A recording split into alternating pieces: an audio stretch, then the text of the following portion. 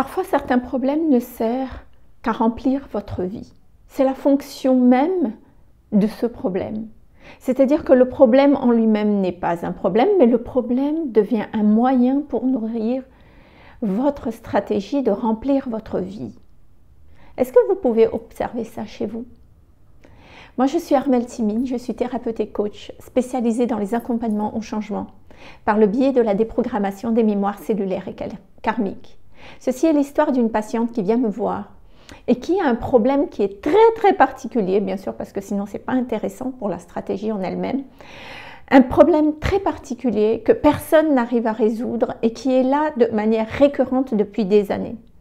Et elle me vient, elle vient me voir et me dépose ce sujet-là en me disant Est-ce que tu as les épaules pour m'aider à guérir de ça? Parce qu'effectivement, ce problème euh, la préoccupe, l'empêche de dormir, donc il y a un manque de sommeil, donc nerveusement c'est difficile de mener ses journées et il y a vraiment des impacts et des inconvénients euh, sur elle physiquement euh, tous les jours.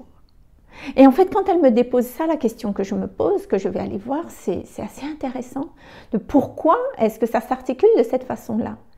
Et j'arrive à un moment de sa vie où je lui ai demandé à quel moment est-ce que tout ça, ça s'est déclenché?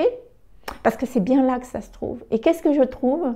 C'est qu'elle a déclenché cette maladie, enfin cette maladie est là, euh, enfin cette problématique, on va dire, parce que c'est pas une maladie vraiment, et là, à un moment donné où elle a décidé, à 35 ans, euh, d'avoir une vie de célibataire, euh, de se résoudre à être célibataire. Et je comprends bien à partir de là que cette problématique qui prend sa place, qui est particulière et que personne ne peut soigner parce que l'objectif c'est ça, a une fonction positive pour elle, c'est de remplir sa vie.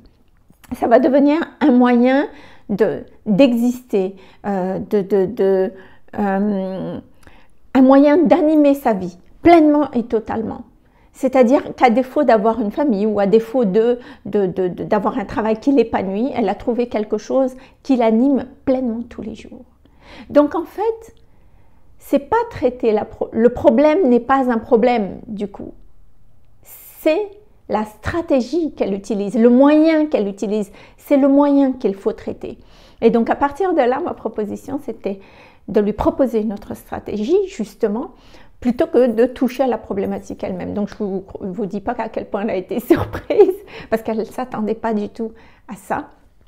Donc voilà, tout ça pour vous dire que très souvent, ces stratégies inconscientes qu'on utilise sont des vrais caméléons pour servir un besoin réel au plus profond de soi, mais qui est inconscient. C'est-à-dire que vous n'avez pas conscience que vous avez mis ça en place, une stratégie en place qui nourrirait cette fonction-là. Voilà. Donc, si c'est le cas pour vous, si vous êtes enfermé dans une problématique que vous ne comprenez pas, n'oubliez pas que parfois, le problème n'est pas le problème en lui-même. Voilà. Et donc, si vous avez besoin d'une thérapeute pour aller voir plus loin ce qui se joue réellement pour vous, et si vraiment il y a une envie euh, de passer à autre chose, de vivre autrement, de guérir, ou d'une maladie aussi, parce que ça peut être le cas d'une maladie, moi je serais très heureuse de vous accueillir, de vous amener de la clarté sur euh, ce qui se joue pour vous en séance individuelle, par Skype à distance ou dans mon cabinet à Nice. Voilà, n'hésitez pas à me contacter. Merci de partager la vidéo si elle vous parle, de liker ou de laisser un commentaire. Je vous dis à très vite. Au revoir.